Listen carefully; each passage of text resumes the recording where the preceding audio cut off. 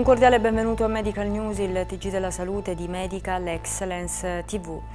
Una nuova speranza di trattamento per i pazienti affetti da rosacea arriva dall'approvazione di una nuova uh, molecola che ha uh, ricevuto dall'AIFA, l'Agenzia Italiana del Farmaco, l'autorizzazione all'immissione in commercio con la pubblicazione in Gazzetta Ufficiale. La uh, commercializzazione in Italia è prevista a partire da settembre.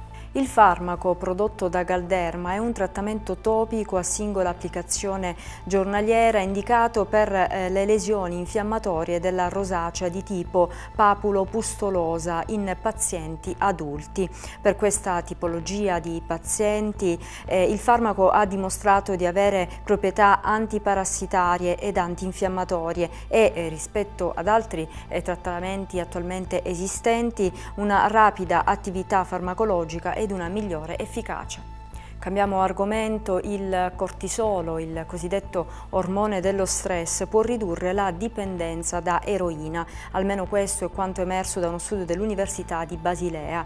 In ricerche precedenti i ricercatori hanno scoperto che il cortisolo diminuisce la possibilità di recuperare i ricordi, in particolare l'assunzione dell'ormone dello stress ha ridotto la capacità del cervello di ricordare. Questo potrebbe ad esempio essere usato per alleviare i sintomi dei pazienti che soffrono di disturbi d'ansia, inibendo la loro capacità di ricordare episodi ansiosi. I ricercatori hanno poi ipotizzato che il cortisolo possa avere un effetto inibitorio anche sulla memoria legata alla dipendenza e quindi anche il desiderio della sostanza che crea eh, per l'appunto dipendenza. Voltiamo ancora a pagina per eh, parlare stavolta di caffè eh, che eh, a quanto pare fa bene ma a patto che venga preso con moderazione e eh, costantemente alle stesse dosi.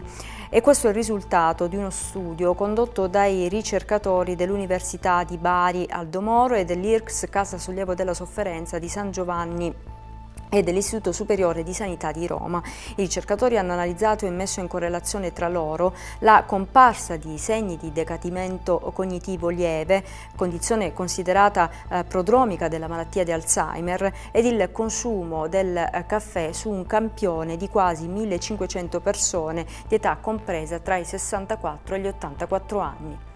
Dai risultati è emerso che le persone che avevano mantenuto costante il loro modo di eh, consumare il caffè eh, una tazza al giorno avevano meno rischi di incorrere nel decadimento cognitivo lieve rispetto agli altri che eh, avevano modificato le loro abitudini oppure consumavano più o meno caffè. In particolare è emerso che gli individui cognitivamente normali, più anziani, che hanno modificato le loro abitudini aumentando con il tempo la loro quantità di consumo di caffè, avevano circa due volte eh, più alto il tasso di decadimento cognitivo lieve rispetto a quelli eh, con abitudini ridotte, come ad esempio meno di una tazza di caffè al giorno.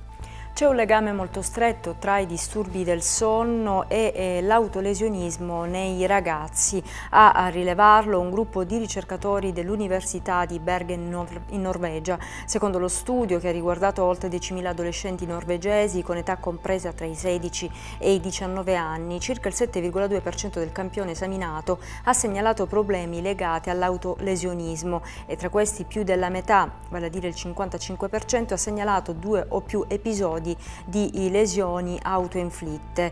Le più a rischio sono le ragazze. Dallo studio è emerso che i giovani cui erano associati anche forme di disturbio del sonno come insonnia sono quattro volte più a rischio rispetto agli altri. Siamo all'ultima notizia, in un futuro neanche troppo lontano, al posto degli esercizi fisici potremmo assumere una semplice pillola. Sarà lei infatti ad incaricarsi di innescare quei salubri effetti benefici che altrimenti sono indotti prodotti eh, dall'attività fisica sull'organismo. Ne sono convinti alcuni ricercatori dell'Università inglese di Southampton che hanno messo a punto una molecola chiamata composto 14 che potrebbe essere usata nella terapia contro il diabete o l'obesità. La nuova molecola inibisce la funzione di un particolare enzima che a sua volta è coinvolto nel metabolismo attraverso la produzione di una molecola che induce le cellule ad essere affamate e ad aumentare il loro assorbimento di glucosio. Nei primi test incoraggianti la molecola è stata somministrata a due gruppi di topi. Siamo in chiusura, grazie per aver scelto Medical Excellence TV, vi ricordiamo che il TG della Salute torna domani con una nuova edizione, nel frattempo continuate a seguire questo ed altri programmi sul nostro portale di benessere e salute all'indirizzo che vedete alle mie spalle. Arrivederci.